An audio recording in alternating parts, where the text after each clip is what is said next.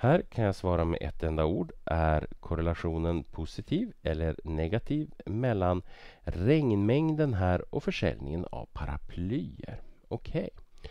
Här så kan vi tänka oss så här att okej, okay, om det regnar så här eh, väldigt lite så vissa personer de tänker så här, nej, jag behöver kanske inget paraply. Men några tänker, ja men paraply kanske inte är så dumt och har man inget med sig så kan man gå och handla ett paraply.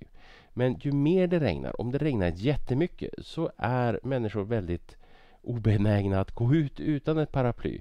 Så då så skulle man kunna tänka sig att mängden paraplyer då som säljs ökar när regnmängden ökar. Och regnar det ingenting, ja då säljer man inga paraplyer. Så det finns här en positiv korrelation mellan regnmängd och försäljning av paraplyer. Det låter alldeles rimligt. Så svar. Här har vi en positiv korrelation. Korrelation.